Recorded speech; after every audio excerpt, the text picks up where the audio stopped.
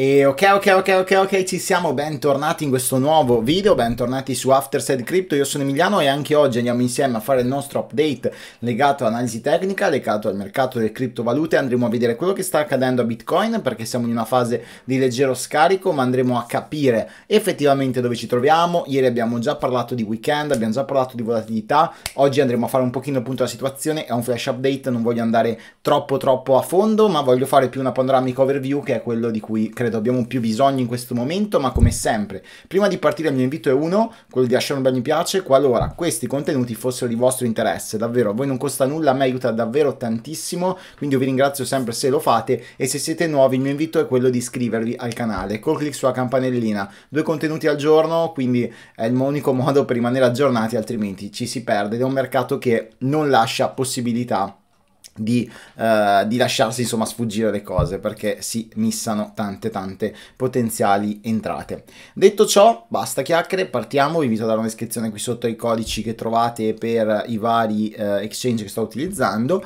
E partiamo direttamente con l'analisi su bitcoin perché bitcoin ha fatto due belle giornate questa eh, del 28 di ottobre è stata una giornata con uno shake, quindi grande volatilità e poi abbiamo aperto in maniera molto positiva andando a superare la trend line che stavamo osservando appunto discendente e avevamo detto il primo step era recuperare la 12 EMA, quindi questa media eh, gialla recuperata, rompere la trend line e attenzione ai retest. Dove stiamo andando? Siamo andati a correggere eh, nella giornata di oggi fino in zona 61k, che è molto molto vicino a sia la 12 che la trend line. Quindi attenzione perché chiudesse la giornata in queste zone qua dei 62, 61 alto potrebbe essere un ottimo segnale di continuazione, quindi di forza che il prezzo potrebbe andare ad accumulare per poter fare una leg up e riattaccare come mio primo target i 64. Eh, perché i 64? Perché vanno più o meno in corrispondenza di questa zona qua, che è un cluster che secondo me è abbastanza importante prima di andare a riattaccare i massimi precedenti precedenti barra all time high ok questo è un po' quello che io sto andando a osservare ricordiamoci che la run precedente su questo credo sia importante fare un attimo un appunto, eh, è stata comunque condotta anche da un ETF, da una notizia di un ETF, quindi ora sapete come funziona, no? di solito c'è il buy the news, sell the rumor, eh, scusatemi, sell the ru- buy the rumor, sell the news, ecco, il buy the rumor, sell the news. In realtà non c'è stato un grandissimo sell the news, ma stiamo andando a lateralizzare. Io vi ricordo, per chi appunto se lo fosse perso, che lo scenario di lateralizzazione di cui anche avevamo discusso, quindi una cosa di questo genere qua, che possiamo portarci avanti anche per, fino a metà mese di novembre tranquillamente, è uno scenario fantastico, fantastico per quello che riguardano le altcoin. Ok ragazzi? Perché questo? Perché è l'unico modo che voi avete per andare a scaricare, scusate, market cap sulle altcoin, ok?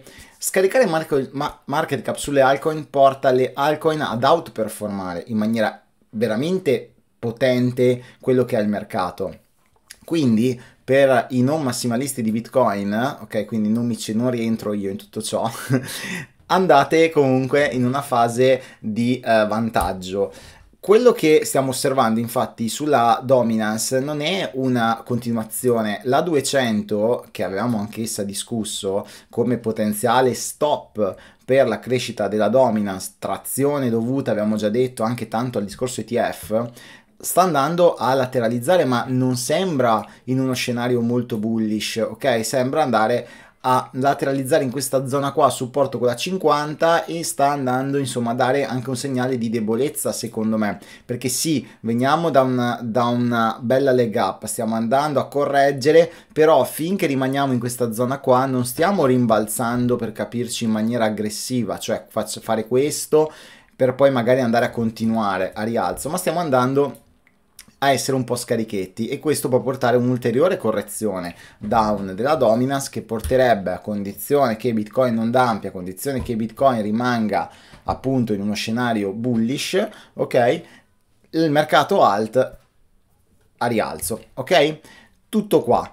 Stiamo osservando anche altre altcoin andare abbastanza bene, stanno performando molto bene tutto quello che è il comparto metaverse, ok? Lo stiamo vedendo da Sand, perché Sand si è risvegliato, Sand avevamo parlato anche di un bel progetto, a me è sempre piaciuto, personalmente eh, avevo una piccola posizione in Sand che avevo già chiuso in profit, però è un bel progetto, è molto valido, lo stiamo vedendo nelle ultime giornate da Atlas, che non so se conoscete, ma immagino di sì, era quella pre-sale atomica che ha fatto eh, FTX, che poi è andato a correggere chiaramente dovuto al fatto che non c'è stata, eh, ovviamente quando fate questi gain qua eh, si vende, ok? Quindi poi è difficile per il prezzo recuperare, però sta andando a farlo in questo momento, sta facendo tre giornate in cui è andato a recuperare addirittura da un... Um, da un, da un 8 centesimi è andata a un 12, quindi ha fatto un grandissimo gain.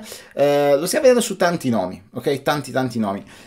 Bisogna però tenere un attimo la calma, la concentrazione senza farsi prendere dalla piena FOMO. Mi raccomando, questo è fondamentale.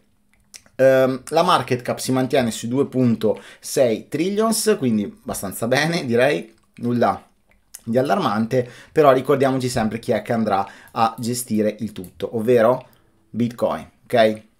Mi raccomando, non perdiamo il focus su quello che è Bitcoin perché è quello che poi sarà driver del resto e questo bisogna sempre tenerlo molto molto bene a mente.